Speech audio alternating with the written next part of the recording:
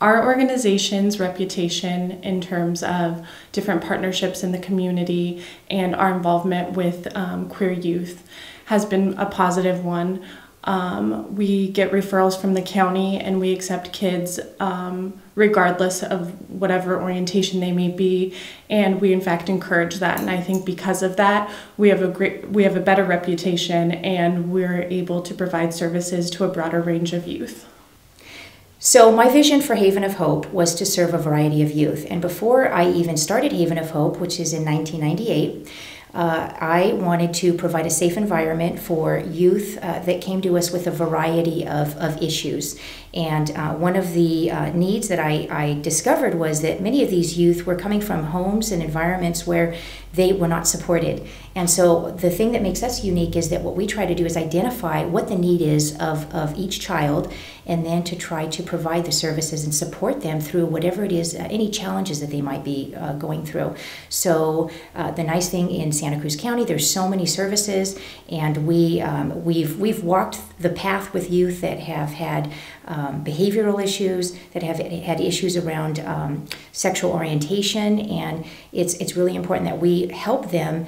Um, discover who they are and that's what our job is and by providing the amazing staff that we do they have great role models they have um, uh, different interests and skills that they're introduced to. And what we do is we try to pull them into um, using their strengths. So, getting them to discover what their strengths are, and in that process, they're discovering who they are, which is what, what our, our job is and in, in terms of trying to help them heal and become the person that, uh, that, they, um, that, that they can be.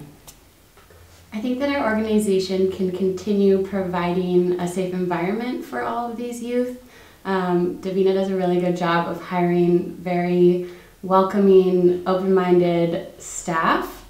Um, and I think that us as a team working together provide an environment um, that the kids feel safe coming to us with.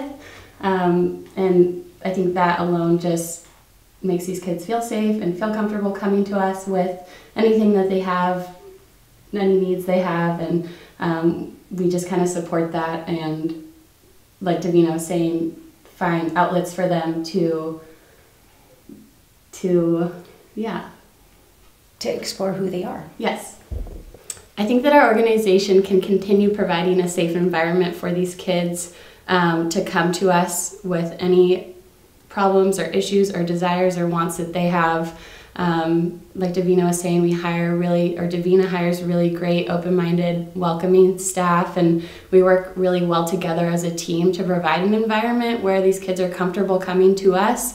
And um, we're really supportive of providing and reaching out to these community outlets so these kids do feel supported and um, kind of in finding themselves and and being proud of who they are. Yes. Yeah. So I think that's that's that's the big the big issue here is that we're I mean these girls come to us with, with so much pain and hurt and they, they come to us uh, from an environment where they're just trying to survive and our job is to try to provide an environment where they're going to thrive so by just giving them as many, options as possible, whether it's music, art, dance, um, just the different org service organizations that they can be introduced to, and just by having our wonderful staff who provide such um, uh, great modeling for these these young ladies. It's just really, um, I, I, think it's great because they they can pick and choose who they want to be like or what maybe what they want to do when they grow up, and um, and to see that I mean there's so many. We have younger, older staff. Uh, with all different interests, so it's really kind of fun for the girls to just be working with all of these supportive people, so that they can just get out of that shell and flap their wings and experience um, again life. Oh, my favorite movie is the the Bells of St. Mary's, and I really enjoy that movie because it's just about um, it's about uh, this this uh, group of, of people who uh, just innocence and these these nuns who are trying to help these youth, and it's just it's it's it's got a lot of humor and it's really um, just the courageousness of people just advocating for these youth and trying to save this school. It's really it's just just really a fun movie. Yeah, my favorite movie is Happy Gilmore. I could watch it every day and it would still make me laugh just like I was watching it for the first time. That was a good one. My favorite movie is, um, I think, Corrina Corrina, because it's like set in the 50s and it's with my favorite little actress. I don't even know her name. Um, but the dad, I think Whoopi Goldberg comes in as a as a new she's like the new nanny or something and the dad is really accepting of her and it's just such a good movie My favorite color is the color of the uh, sunset and sunrise, and I think it, it's because it just it depicts uh, a new day, and I think that that's something that uh, that we we try to do with our young ladies is, is really just try to emphasize to them that every day is a new day. My favorite color is green. Um, that's been my favorite color for as long as I can remember. I think it's because it's the color of my eyes, and that's always been a feature that I've liked of myself. So it just makes me happy and proud, I guess. My favorite color is yellow. Um, I think for me, yellow is about being positive and bright and sunshiny.